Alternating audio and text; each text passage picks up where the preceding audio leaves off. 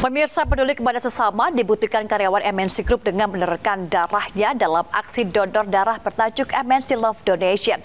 Darah yang terkumpul dapat menambah stok darah di PMI dan disalurkan oleh Palang Merah Indonesia PMI.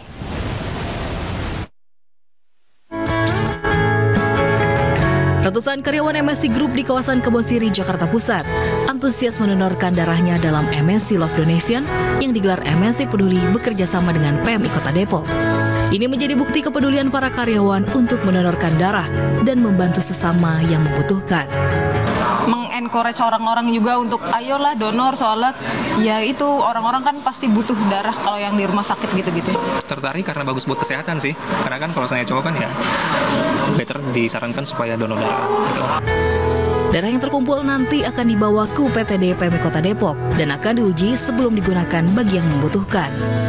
Kalau untuk darah kan kita semua kita bawa ke UTD PMI Kota Depok. Nah di sana nanti diuji saring. Kalau misalkan memang sudah layak dari rumah sakit mana pun ya bisa ambil ke kita.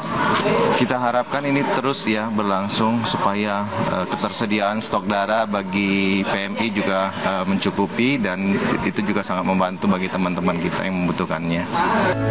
Donor darah bukan hanya memiliki makna berbagi dengan orang lain, tetapi juga berdampak pada kesehatan si pendonor. Donor darah rutin juga dapat mengurangi resiko kanker. Tim Liputan iNews melaporkan.